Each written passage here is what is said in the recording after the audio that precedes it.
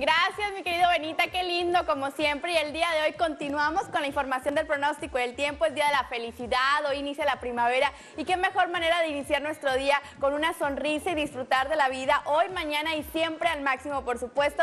Hemos alcanzado la máxima temperatura el día de hoy, ya los 24 grados centígrados, se siente el calor muy agradable, la temperatura y un cielo medio nublado. Sin embargo, hay que prepararnos porque hoy por la tarde, aproximadamente alrededor de las 6, 7 de la tarde, comenzará llover y por la noche como a las 9 tendremos una tormenta eléctrica, así que no se confíe con estas condiciones, sin embargo, haga todas sus pendientes, todas sus actividades y aproveche estas horas del día que no está lloviendo porque como le comento ya por la noche tendremos la probabilidad de lluvia, por la noche alcanzaremos una temperatura de los 19 grados centígrados. Estas mismas condiciones con la probabilidad de lluvia se van a extender para el día de mañana, como podemos ver amaneciendo en 17 grados, máxima que se elevará hasta los 22 grados centígrados, pero le tengo buenas noticias ya que a partir del domingo, eh, para que lo disfrute con su familia con excelentes condiciones, un cielo medio nublado y la temperatura agradable entre los 26 grados por la tarde. Esas excelentes condiciones se van a extender para el día lunes y martes,